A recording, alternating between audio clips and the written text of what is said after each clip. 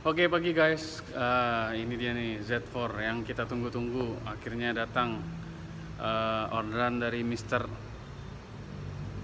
FRXXXXX si itulah pokoknya. Akhirnya unitnya datang juga.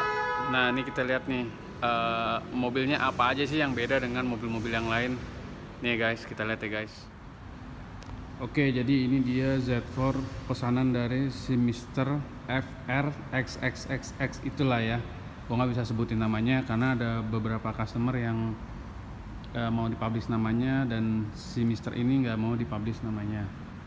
Nah, ini untuk uh, BMW G20 yang 330i. Nah, kalau kalian lihat nih guys, dia double kidney grillnya ini beda tuh dari segi desainnya beda. Kalau yang G20 dia garis-garis ke bawah kalau ini dia garis-garis ke bawah tapi diputus. Nah, nah terus dia kalau lampu ini kita lihat nih dia lampunya kalau yang lain BMW itu dua bulat kiri kanan gitu. Kalau dia ini naik ke atas. Nah, dia lampunya juga sudah BMW LED Nah kalau untuk uh, uh, atasnya dia masih kanvas. Kalau yang dulu itu dia Z4 itu ada bahan yang oh sorry Z3 itu dia bahannya kanvas. Kalau Z4 itu bahannya dia hard hard uh, hardtop gitu. Jadi velgnya juga beda nih guys. Velgnya jauh lebih jauh lebih keren. Nah dia menggunakan Michelin Pilot Super Sport untuk ukuran bannya itu dia ring 18 255 40 jadi uh, diameter tebalnya itu sekitar proporsionalnya 40 lebarnya 225 untuk bagian depan Wah, oke okay, cukup lumayan besar bannya. Lagi-lagi BMW uh, mengeluarkan perbedaan antara ban depan dan ban belakang. Ban depannya itu 255, ban belakangnya itu 275 proporsionalnya 40 yang pasti kalau secara 275 sama 255 karena proporsionalnya 40 dia yang pasti tebelnya lebih tebal yang belakang daripada yang depan. Kurang lebih seperti itu. Nah jadi uh, kalau dilihat dari depan sampai belakang dia mobilnya bagian belakang itu agak melebar keluar ya guys. Sama nih seperti yang BMW X5 dia depannya itu 275 belakangnya itu 305 nih kita lihat. Depannya 275 belakangnya itu 305 jadi lagi-lagi mobil sportnya itu sebenarnya nggak mau dibilang mobil sport sih enggak ya. Cuman mungkin performanya itu karena tenaganya gede jadi dia ban depan sama ban belakang dibedain.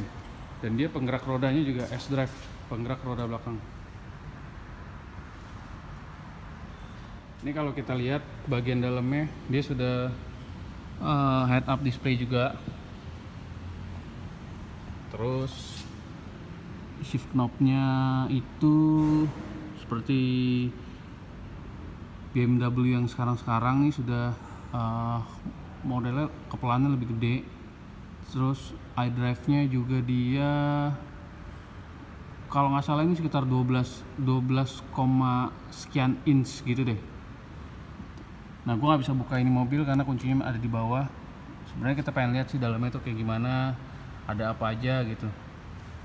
Tapi kita ulas bagian luarnya aja dulu.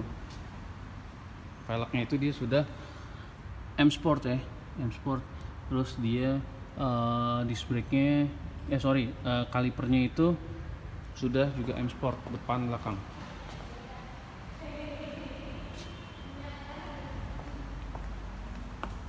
ini kalau kita lihat uh, dua gitu ya? Pistonnya dua. Nah ini kalau kita lihat yang ini dia pistonnya kayaknya cuma satu nih. Yang belakang pistonnya satu yang depan itu pistonnya dua. Jadi yang depan lebih lebih rigid gitu lah ya. Oke. Nah di sini ini ada scan barcode nih untuk bannya nih untuk Michelin. Keren banget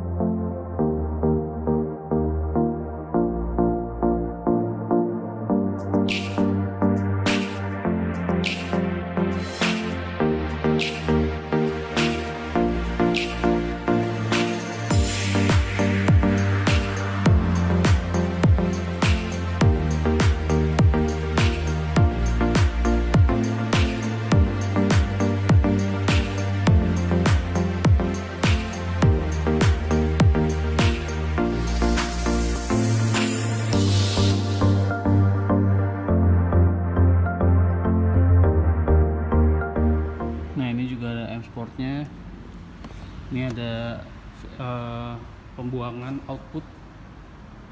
Jadi kadang orang suka nanya ya. Jadi terkadang orang suka nanya nih ini gunanya apa sih? Gitu kayak nggak berguna gitu atau cuma sekedar variasi atau apa gitu. Nggak ini tuh ada gunanya. Jadi gini di bagian depan sini ada pengisapan gunanya dia untuk pendinginan gunanya itu untuk pendinginan e, pengereman. Jadi pada saat mobil mengerem dalam keadaan cepat dibuang oleh dibuangnya lewat lewat si e, sirip yang ada di sisi kirinya. Kiri dan kanan ya. Itu jadi ketika mobil ini ngebut terus di ngerem jadi pendinginannya itu masuk ke dalam bagian roda diputer dan dikeluarkan lewat sini. Gitu. Jadi kalau misalkan kalian ngerem juga kondisinya terlalu panas bahaya kalipernya bisa uh, kepanasan dan si disc brake itu bisa keriting lama-lama. Oke guys nih kalau kalian mau lihat Z4 yang lama kayak gimana nih itu. Di belakang ada penampakannya. Dia untuk si, uh, atasnya itu topnya itu sudah hardtop jadi keras. Nah ini tampilan belakangnya. Beda banget sama yang baru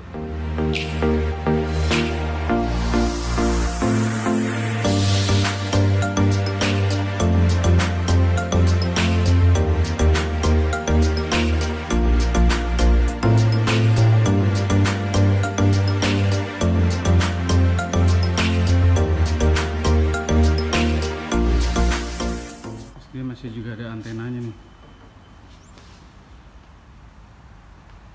Terus uh, lagi-lagi logo BMW nya ada di sini.